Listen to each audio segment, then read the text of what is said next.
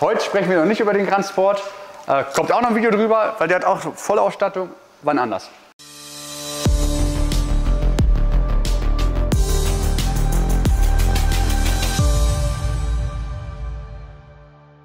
Heute möchte ich über den Casalini Twist Plus sprechen, ähm, den Alex bestellt hat. Stimmt's?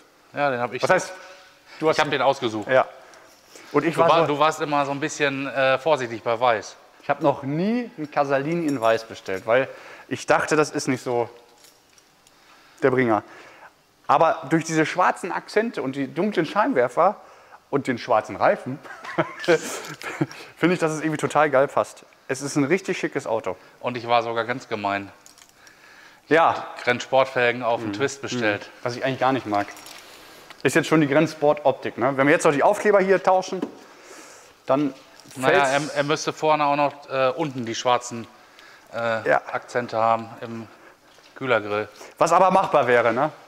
Ja, Obwohl ich das, ich finde das richtig schick, wirklich. Hätte ich nicht gedacht. Wo du sagst, es hier weißen. Uh. Geil. Gucken wir mal kurz von innen. Auch elektrisch ein ausklappbarer Spiegel über Funkschlüssel. Und so weit sind wir von den Grand Sport gar nicht entfernt. Es sind geringe Ausstattungsmerkmale, die fehlen, ganz klar. RDKS, Regensensor, ähm, ähm, Lichtsensor, was haben wir noch? Ladepad fehlt. Also viele Details, die den Preis nach oben treiben, weil es halt teure Zubehörsachen sind. ja. Trotzdem haben wir den Twist Plus, das große Doppeldienradio mit Rückfahrkamera, Navigationssystem, Armlehne, die ich wirklich sehr praktisch finde und auch stabil. Die haben wir aber zusätzlich bestellt. Also das ist eine Zusatzausstattung. Ah, okay. Was kostet die? Kannst du das mal einblenden? Ja, blende ich ein, weiß ich jetzt Das wäre interessant. nicht. Ne? Ähm, der hat auch zusätzlich noch das vier Lautsprechersystem und einen Subwoofer. Das blendest du jetzt auch nochmal ein, weil die Preise weiß ich jetzt nicht. Was ich bei Casalini jetzt auch schön finde, die haben in den Twist Plus Modellen jetzt neue Sitze drin, ne? Was irgendwie Teilleder, also drei verschiedene Stoffarten irgendwie. Also außen ist äh, Leder, also Kunstleder. Genau. Innen so ein Stoff und dann nochmal so ein groberer Stoff. Ne? Ich finde das nicht schlecht.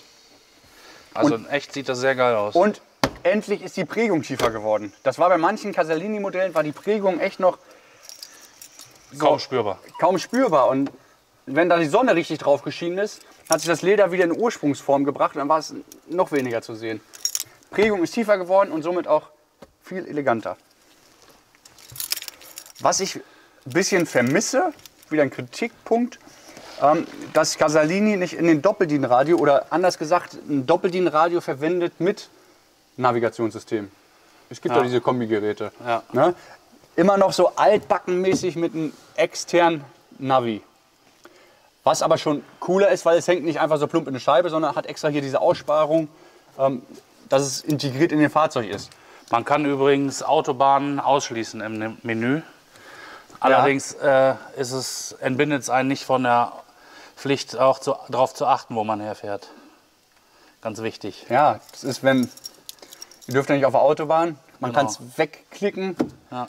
Aber vielleicht schickt euch dann doch irgendwann auf der Autobahn, da solltet ihr selber aufpassen. Also nicht einfach Ja. auf der Autobahn fahren. Vor allen Dingen Schnellstraßen sind ja auch nicht erlaubt. Ja. Ne? Was ich auch gut finde, was bei allen Modellen ist, man hat immer viel Luftausströmer inklusive Windschutzscheibe, Ablagefach oben und nochmal Handschuhfach. Fußmatten inklusive, sowieso bei allen unseren Fahrzeugen sind Fußmatten inklusive, ob von, von uns oder vom Hersteller. Ihr werdet nie ein Auto von uns bekommen ohne Fußmatten. Übrigens, ja, da kommt auch ein spannendes Video. Ähm, ich glaube, neue Fußmatten kommen bald und Eiksam, Gummifußmatten. Gummifußmatten und Kofferraumwannen Ja. speziell passend und cool. Also abonnieren, machen wir auch noch ein Video. Haben wir schon, war schlecht, müssen wir noch mal machen. Auch hier ähm, USB-Port, direkte Verbindung zum Radio. Also USB-Stick, Handy und so weiter. Elektrische Fensterheber. Was ich, eigentlich, ich bin eigentlich ein Fan davon, dass die, die Knöpfe direkt an der Tür sind. Ja. Findest du auch, ne? Ja. Finde ich besser. Immer wenn ich andere Fahrzeuge fahre, auch im Pkw-Bereich, der erste Blick ist ähm, an, an der Türgriffmulde, Fenster auf und zu machen. Ja. Und wenn es da nicht ist, dann sucht Leck mich. Ja. Also, das Dann schwitze ich halt. ja. also rechts, links. Und hier ist auch die äh, Spiegelverstellung elektrisch, Ja. was man auch selten hat. Das ist bei allen äh, Modellen übrigens bei Casalini der Fall. Richtig. Auch die einklappbaren Spiegel, ähm, muss man sagen, kann man nicht abschalten, die klappen immer ein, aber wofür auch abschalten? Ja, dafür hat man sie ja da. Ja, ma- ein bisschen skeptisch, aber haben wir noch nie Theater gehabt. Ähm, Wenn es jetzt richtig Eisregen gibt oder richtig viel Schnee, dass es dann irgendwie verhakt oder verklemmt. Aber ich, die haben da keine Kante, wo das Schnee drauf liegen bleiben kann. Und die haben noch eine Sicherheitsfunktion. Genau, die schalten ab, wenn sie zu. Und das testen wir jetzt einfach mal. Also ich bin jetzt Schnee oder Eis, weil das ist ja so der Hauptkritikpunkt. Oh, Gottes Willen, keine einklappbaren Spiegel. Ich möchte die abstellen können. Denn wenn es friert oder Schnee oder weiß der Geier was, möchte ich nicht, dass mir der Inhalt kaputt geht. Und das ist hier eigentlich gut gelöst, weil die haben eine Sicherheitsfunktion. Ich halte jetzt meine Hand ein bisschen weiter weg und simuliere quasi, dass das hier irgendwie blockiert und schließe das Auto zu. Ja. Man sieht eindeutig, auf der rechten Seite ist er eingeklappt und hier ist er einfach in der Position stehen geblieben, wo, wo die Blockade ist. Also da hat jetzt nichts irgendwie übergegnuppt. Denn wenn ich jetzt wieder aufschließe, dann springt er wieder in Originalrichtung. So. Und dasselbe passiert dann auch hier. Ich halte ihn jetzt hier fest, ich schließe nochmal zu. Und ihr seht, andere Seite klappt da richtig an und hier nur bis zur Hälfte. Interessant. Wenn ich aufschließe, fährt er wieder in Originalposition. Andersrum auch, wenn ich irgendwo gegenfahre. Klappt weg. Da ist jetzt nicht die Mechanik innen drin kaputt oder so, das ist nur ausgerastet. Kann ich ganz wieder hier, ganz einfach wieder dahin drehen und fertig. Und wenn ich rückwärts irgendwie an, an, an, am Tor hängen bleibe, ist dasselbe, dann klappt es so weg.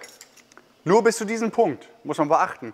Wenn man Also jetzt man, weiter so, drückt, man sollte schon bremsen dann. ja, wenn man jetzt noch weiter drückt, dann reißt er weg. Thema Spiegel abgehakt, finde ich super.